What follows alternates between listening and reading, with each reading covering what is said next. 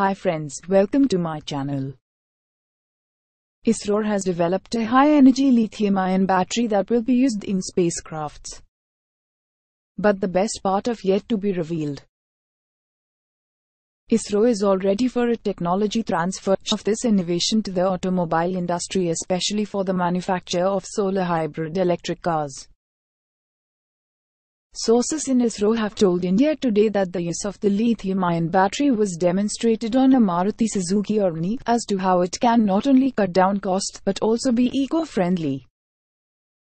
This homegrown technology is expected to create ripples in automobile industry worldwide. How does it work? ISRO has developed this high-energy lithium batteries for a solar panel. This panel will also control the electronics of the vehicle and will ensure a steady power to provide a smooth ride. The Road Transport Department had requested ISRO to share technology to help in improving efficiency in vehicles developed in India. We are ready to transfer this technology and make our automobile industry one of the most technology advanced in the world. Our prowess in space technology has been shown time and again and with this new innovation, the space organization is now set to take the country to a new high.